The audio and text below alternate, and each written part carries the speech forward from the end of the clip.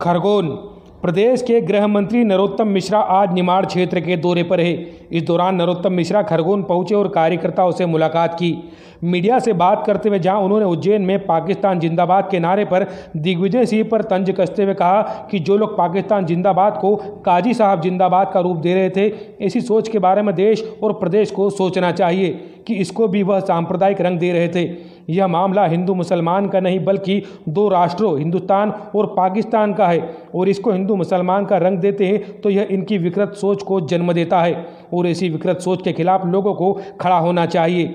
साथ ही उन्होंने पत्रकारों द्वारा पूछे गए सवाल पर यह भी कहा कि प्रदेश में सीमी और तालिबानी सोच को कुचल दिया जाएगा।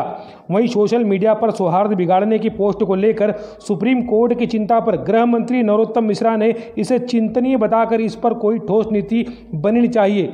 और मैं भी इस बात के पक्षकार हूँ। वहीं अपने दौरे को लेकर उन्होंने कहा कि मैं कार्यकर्ताओं से मिलने आया हूँ। पाकिस्तान जिंदाबाद को काजी साहब जिंदाबाद कह रहे थे।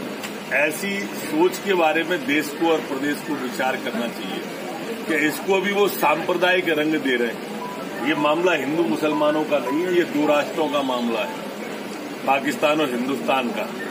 और इसको हिंदू मुसलमान का इसमें भी रंग देते हैं, ये इनकी विकृत सोच को जन्म देता है। और इस विकृत मानसिकता के खिलाफ लोगों को खड़ा होना चाहिए। सर सीमी सीमी कार्यकर्ता कहीं के सक्रिय होता नज़र आ रहा था सीमी को लेकर कार्रवाई चाहे सीमी हो और चाहे तालिबानी सोच हो मध्य प्रदेश में जो सक्रिय होगा वो कुचल दिया जाएगा। तो वो चिंतनीय बात है